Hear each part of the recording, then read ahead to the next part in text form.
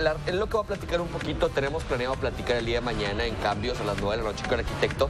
Las redes sociales crecieron tanto, tan rápido, que no saben cómo cap- capitalizar todo y no saben si hacer un bien o generar dinero, porque empezaron como un medio de comunicación y ahora no se han dado cuenta las mismas redes sociales que también pueden ayudar.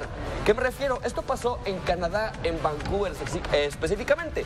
La empresa de telecomunicaciones Telus eh, le dio una máquina, si corremos las imágenes para que vean un poquito mejor, una máquina que expende peluchitos.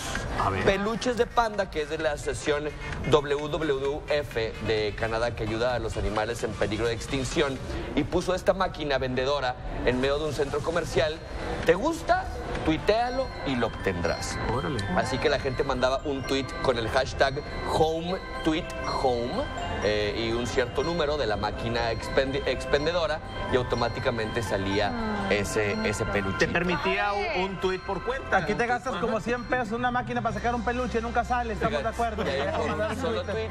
Y esta compañía Telus, pues obviamente con todos los, los peluchitos que se fueron regalados, le iba a dar cierto porcentaje de dinero, más bien todo el dinero, Ajá. a esta asociación que ayuda a los animales, sobre todo en el polo norte, eh, en peligro de ¿Y extinción. cuántos, y cuántos estaban, y cuántos estaban disponibles o era Regalaron- agotar existencia? Regalaron 3 mil peluches. 3 mil peluches. Oye, o sea, solamente están bonitos, los de aquí están bien feos.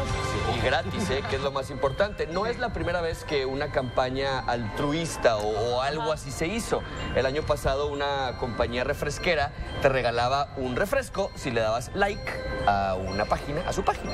Mira, nada más que, bueno, el alcance que tienen ya las redes sociales que, que hasta lo están capitalizando ya para, para darte obsequios y de esos, bueno, no obsequios, porque bueno, estás ahí creando también este Conciencia, ayuda, ayuda. ayuda a, a varias ¿Qué asociaciones. regalarías?